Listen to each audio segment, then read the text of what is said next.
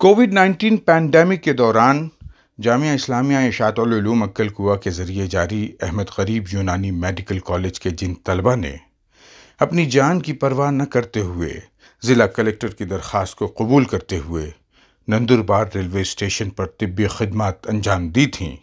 उनके लिए बानी जामिया, हज़रत मौलाना ग़ुलाम मोहम्मद वस्तानवी और नाजिम जामिया, मौलाना हुदैफ़ा वस्तानवी ने उम्र की सादत से सरफराज करने के इनाम का ऐलान किया था।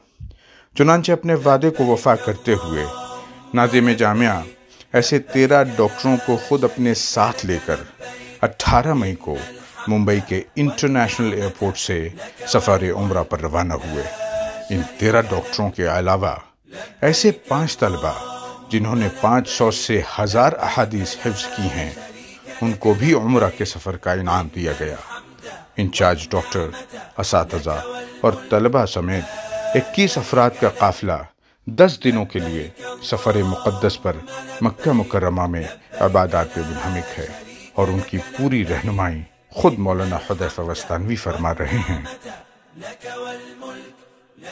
अल्लाह, इन डॉक्टरों की बेलौस खदमात को कबूल फरमाए और तमाम मोतमरीन के सफ़र उम्र को शरफ़ कबूलियत बख्शे।